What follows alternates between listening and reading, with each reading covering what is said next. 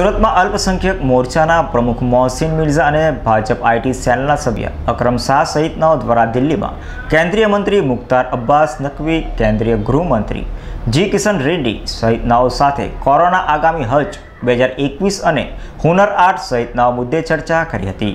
સુરત ભારતીય જનતા પાર્ટીના અલ્પસંખ્યક મોરચાના પ્રમુખ મોહસિન મિર્ઝા, ભારતીય જનતા પાર્ટી સુરત આઈટી સેલના સભ્ય અકરમ શાહ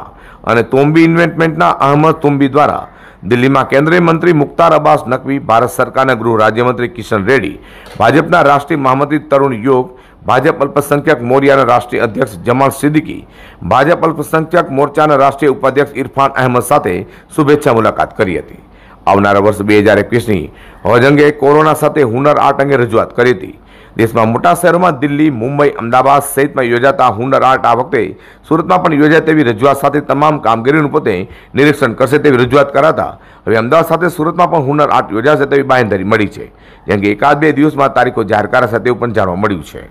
સુરત ભારતીય જનતા પાર્ટી અલ્પસંખ્યક મોરચાના પ્રમુખ મોહસિન મિર્ઝા અને ભાજપ આઈટી સેલના સભ્ય અકરમ અંસારી દ્વારા અન્ય અનેક મુદ્દાઓ સાથે કેન્દ્રીય મંત્રી સહિત રાષ્ટ્રીય નેતાઓ સાથે ચર્ચા વિચારણામાં કરવામાં આવી હતી. અઝર કુરેશી સાથે પ્રકાશવાળા જી ટેન્ટ ન્યૂઝ